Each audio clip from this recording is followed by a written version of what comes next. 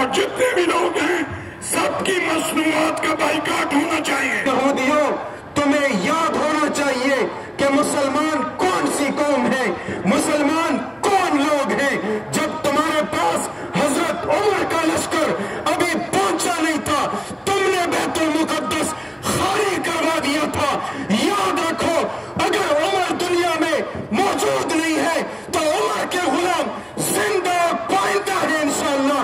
وقت دور نہیں ہے کہ یہ پاکستانی نوجوان انشاءاللہ العزیز بیت المقدس میں آ کر نماز ادا کر کے رہیں گے۔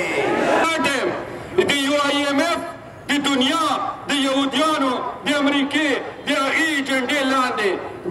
دباو کې دي پریشان دي که آزاد ملک ده که آزاد خلق دي ا د فلسطین خلق دي چې بمونه پې غورځېږي شهادتونه ورکوي خو سر نه ټیټوي ورته لاندې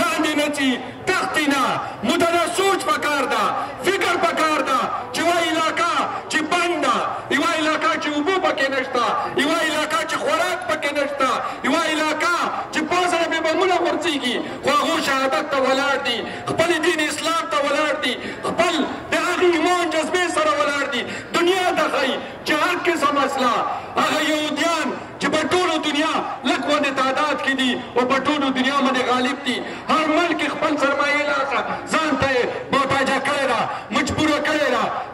مطلب څه ده چې کوم ملکونه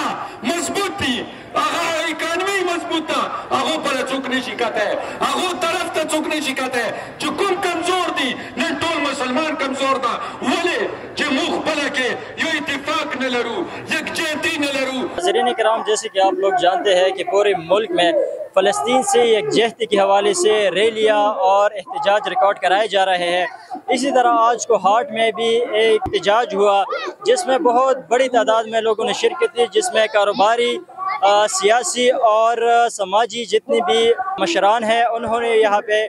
اس ریلی میں شرکت کی اور اس احتجاج سے علماء کرام بھی خطاب فرما رہے ہیں اور ساتھ ہی ساتھ سیاسی جتنے کو ہارٹ کے